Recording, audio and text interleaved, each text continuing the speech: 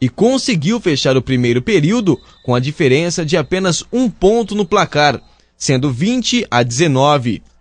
Já no segundo tempo, a equipe de Guaíra partiu para o ataque e virou o jogo, 48 a 42 para os adversários. A cada lance e acerto, a torcida comemorava. O jogo aos poucos foi ficando empolgante. No terceiro período, Matão fechou o placar com 63 pontos, contra 59 de Guaíra.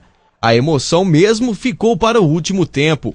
Faltando 59 segundos para o término da partida, a diferença era de apenas um ponto no placar.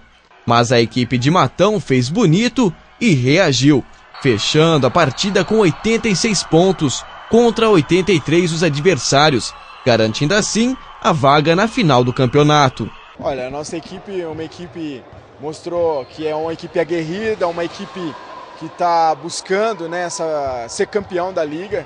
É uma equipe que marcou dentro das suas características não muito bem o primeiro tempo, mas é, voltamos para o segundo tempo com uma outra cabeça, com uma outra postura defensiva. Né? Isso fez o, a diferença na, no jogo, fez com que a gente saísse vitorioso dessa partida.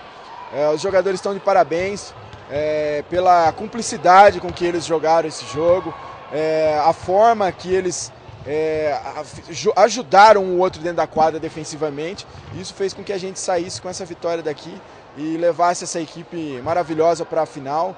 E sem dúvida nenhuma, o fator principal dessa equipe jogar da forma que jogou foi a torcida, né? Com a vitória, a equipe de Matão está classificada para a final da liga. Confiante, o técnico fala da expectativa para o próximo jogo. O armador Marcinho está na equipe de Matão desde o ano passado. Ele que trabalhou por 20 anos como jogador profissional, passando por diversas equipes, falou das dificuldades enfrentadas na partida e dos próximos desafios. A série foi difícil, né? Essa é a terceira partida, é o desempate, todos os jogos foram equilibrados. Isso mostra que o campeonato aqui da, da região está se fortalecendo a cada ano. É importante para a cidade de Matão que está buscando é, novos